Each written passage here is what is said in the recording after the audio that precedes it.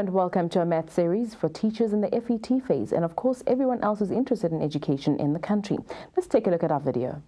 When a rocket blasts off into space, its position is changing all the time. This rate of change of position relative to time is called velocity. Velocity is established by differentiating the distance function with respect to time. It is also the slope of the distance time curve. Calculus is used in two main ways.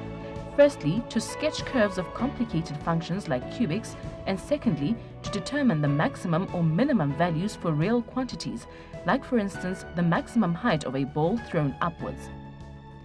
The intended outcomes for this lesson are using calculus to sketch graphs, solving problems involving rates of change and finding a maximum or minimum value of a quantity.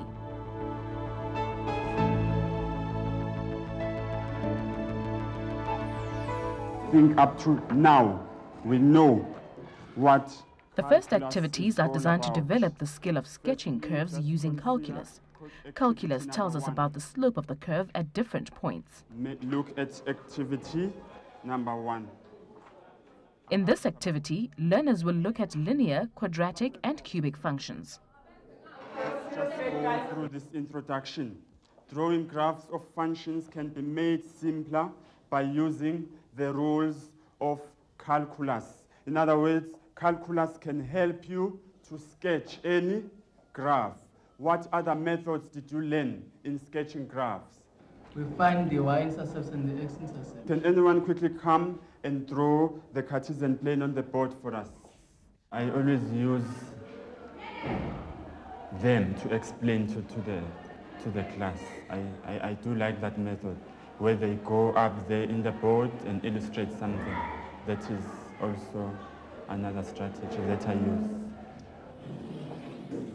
The teacher first revises the concept of the Cartesian plane.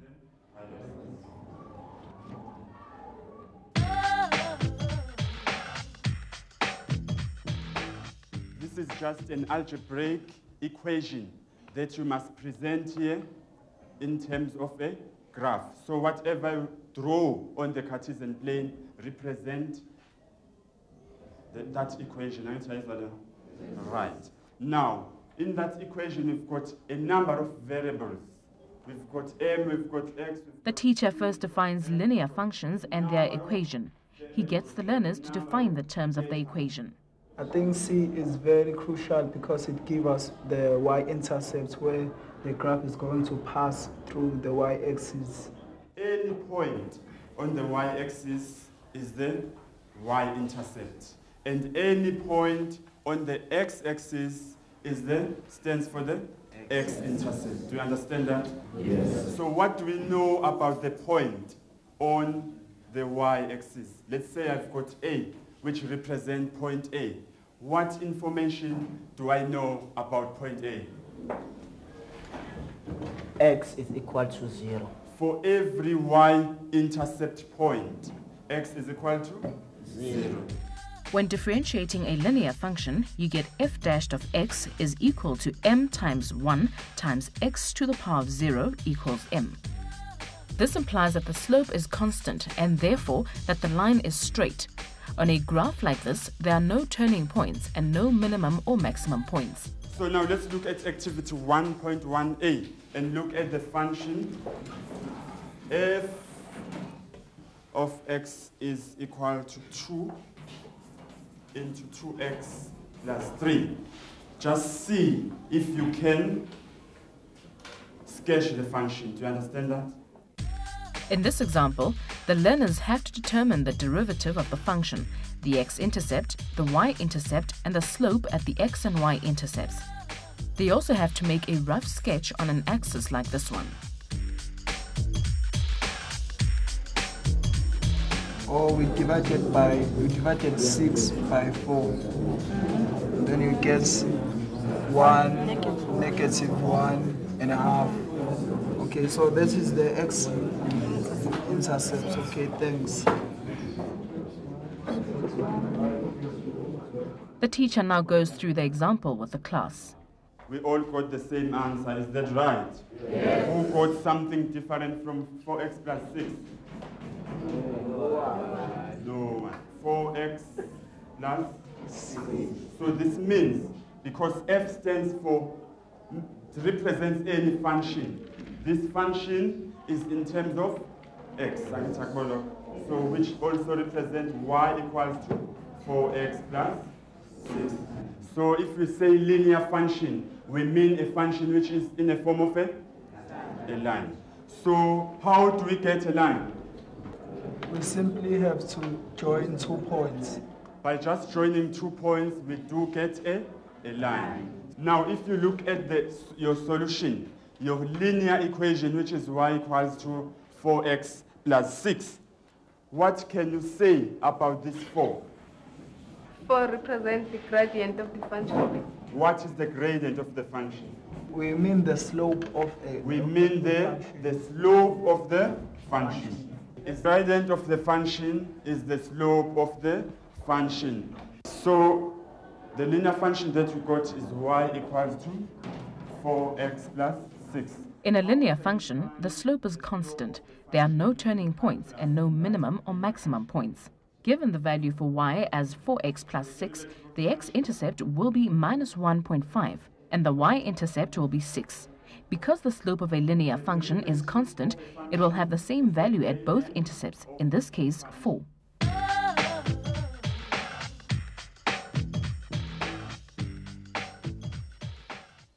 Okay, let's all look at X, uh, activity 1.2.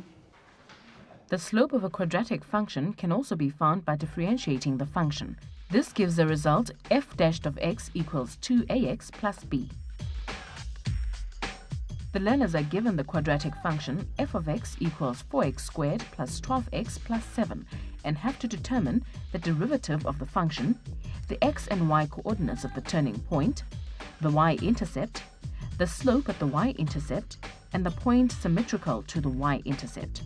They also have to make a sketch of the curve.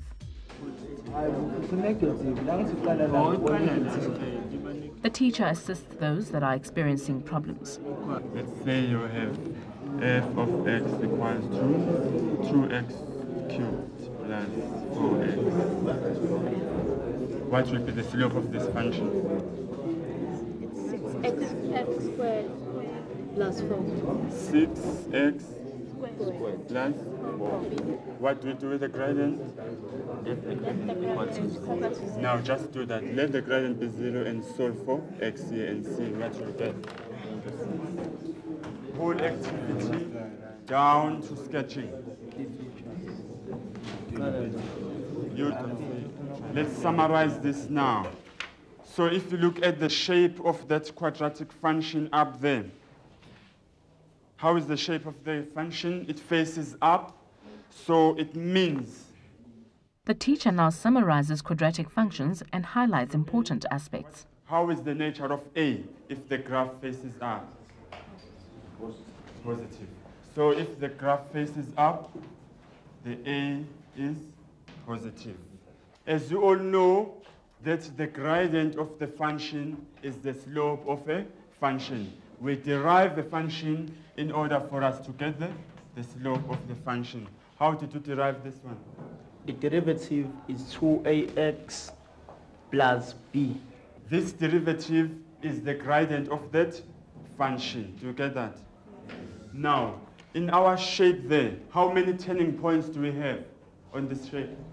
We've got one turning point. We have one turning point. What do we? What type of turning point is that one? It's a minimum turning It's point. a minimum turning point. A minimum turning point is when the A value is positive. Do you get that? Now, if the A value is negative, what type of a turning point is that one? We have a maximum turning point. And the shape of the graph, It faces downward. The graph faces downwards. Now, how did they get the axis of symmetry from this uh, function? How did they get the AOS? Let the derivative equal to 0. The axis of symmetry occurs at the turning point where the slope is zero as it changes from negative to positive. At this point, f dashed of x equals 2ax plus b equals 0, and therefore x equals minus b over 2a. In grade 11, we just told you that the x value of the turning point is minus b over 2a. Now, using calculus, you can discover that. The slope of a cubic function can be found by differentiating the function in exactly the same way. The function is quadratic and changes direction twice. There are two roots and two points where the slope equals zero. In other words, two turning points. So at point A, we have a maximum turning point, and at point B, Minimum. minimum turning point. Now, how is the gradient of the function at point A? The slope is zero. The slope of the function is zero. Key features of cubic functions are the curve can have up to three roots, so it can cross the axis up to three times. It can have up to two turning points. The slope between the turning points will be opposite to the slope on either side of the turning points. The cubic term will dominate, so if the coefficient of the cubic term is positive, the slope will be mostly positive with a negative kink between the turning points. If the coefficient is negative, the curve will be mostly negative with a positive kink. The sign of the coefficient of x squared determines whether f of x is a minimum or a maximum. I think that in calculus, the difficult part is also in. I think they don't understand deriving the function. Now, the problem starts. Why do we have to derive the function? That is the difficult thing. After deriving the function, what's next? Then it becomes a, problem there. So they, we should also emphasize that we derive in order to see the maximum or the minimum turning point of, a function.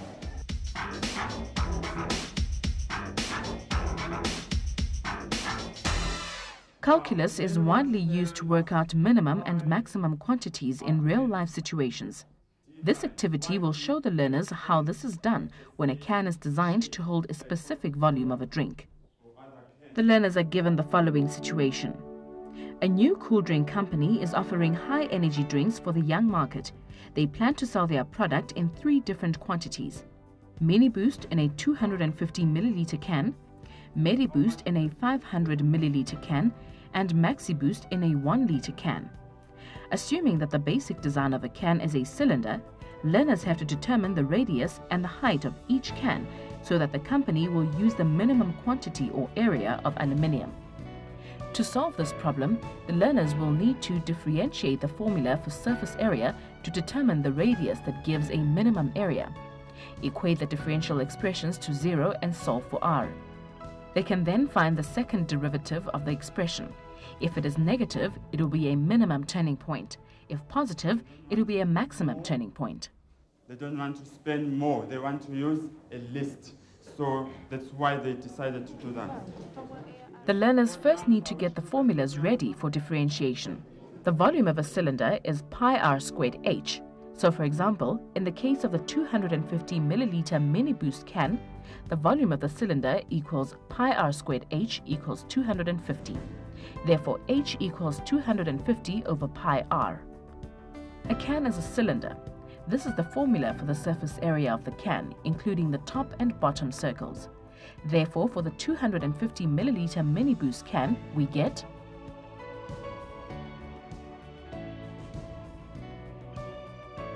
Learners now have to differentiate to find a minimum value for the area of the can. Using the 250 milliliter mini boost can as an example again.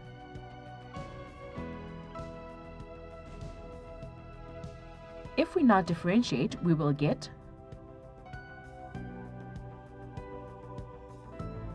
The turning point will be where the derivative is equal to zero. This is the point where the minimum amount of aluminium will be used for a given volume of the can. In the case of Mini Boost, this will be where the radius of the can is 3.41 centimeters and the height is 6.83 centimeters. So now it is just the summary of all this. We use calculus to sketch the function. We use calculus to find the minimum or the maximum.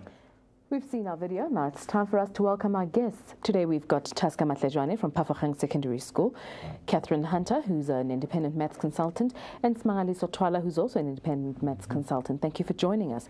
The first question, let me start with you, Taska. Do you think it was a useful approach to move learners from linear through to quadratic to cubic functions? Yeah, I would say for connectivity purposes, it's good to go through all the graphs that way. But I still maintain it's much more useful if it's a revision lesson because it might be too bulky for learners to do at the same time all the functions. But the good part of it is that they see some similarities through from linear right down to or up to quadratic equations. On that score, I would feel this was well handled. And one other thing that which I liked about it is to show actually to say uh, through all those graphs, there's a common outcome that which was uh, you know, uh, broadly put. And that to me, I think it was a driving force to know that at the end of the lesson, learners should be knowing ABC. That was good. Smile, would you agree with what Taska's just said? Yes, I would agree with what he said. Um, I think it was a useful thing to do. Um, though um, uh, there wasn't enough uh, uh, written work given to the children. I would actually add that maybe after finishing a particular uh, section or function, that the, the, learners work on that a bit and then see the differences uh, and the similarities, as he puts it. So do linear and do some questions on that. Yes, quadratic questions and then and then move and then move on. Cubic. Yes. Okay, Catherine, would you agree with that? Absolutely. I, th I think that the teacher was assuming quite a lot of knowledge on the part of the learners, and I think he did consolidate it and revise it well as well. But certainly, learners would need to be able to compare and contrast those three different kinds of graphs. Um, and have adequate practice in, in being able to see what the characteristics of them are um, because he, the teacher is assuming that, that that's a very solid information and it's not always clear. Some learners really do struggle to see what is the difference between them um, and what are the maximum and minimum points and so on. But I think that in, on the whole, the teacher did give a fair, um, good diagrams, for example, on the diagram on the board that would have consolidated that knowledge. Talking about the board, what do you think of the teacher's chalk and talk approach? And again, uh, what about the teacher's use of questioning? The chances are that in this particular video we only saw the teacher at the board and that he in fact did give the learners more practice in between. That's what I suspect. Because certainly there is a danger that a teacher can stand and take on the role, do the work for the learners they must watch and the teacher can assume that the learners have in fact absorbed the information themselves, understood it and would be able to do the problems on their own. Of course, no teacher can do that. I, I would agree with Smangaliso that you need to do it in small bites, give them practice in between. And the, I think that this teacher probably did do that. The learners did refer to a worksheet that gave them some calculations to do. They had to differentiate different graphs, find the maximum and minimum points and so on. And the teacher did ask um, good questions, asked the, the learners to unpack those equations and say, those functions rather, and, and say what, uh, what can we, how can we use that information to help us draw the graph? How can we use that information to find the gradients at different points and so on? So I think um, in general the teacher was, did um, use a good questioning approach and set a good example. Okay, Taska? Yeah, I like the way he used the chalkboard and also because he invited learners also to, to be part of the, the, the, lesson in terms of coming forward, excuse me, and using the chalkboard as well. Uh, that I think brings about freedom amongst learners, that the chalkboard is not clearly defined as the teacher's domain, mm-hmm. and therefore the chalkboard was properly utilized. And secondly, I would say the, the, the usage of questioning was also well done, as particularly when it comes to groups uh, doing question at group level so that a small group of people will understand uh, through the questions that which were raised within that. I quite concur with the teacher. He did it very well. Okay. Smangaliso? Yeah, uh, with regards to chalk and talk, um, I think he, he, he, he was actually quite good with that although there were a little bit of some problem. In the beginning, he was actually using the children to come onto the board and do something. I think it's one boy or so. But later on, the children were not coming too much to the board. He was actually using the chalkboard for summar- summarizing uh, uh, things that they have agreed upon as a, as a class. So I would say maybe he, he's, he's okay when using the chalkboard, but maybe more of learners would also be, it would be also be nicer if they could use that. In terms of uh, questioning, um, the use of questioning, um, I, I, like the way he asks questions. Mm-hmm. He does ask questions um, that uh, actually sort of make the children think and just not routine questions. Um, learners are supposed to say why they say things are like that and so on. So I think he's on the right track. And the example of the can, was it a good example, do you think, to show the, the value of calculus? Yeah, that was a very good example. Um, a can, it's one of the things that uh, learners know a lot about. Um, uh, the cool drinks and so on comes from those cans.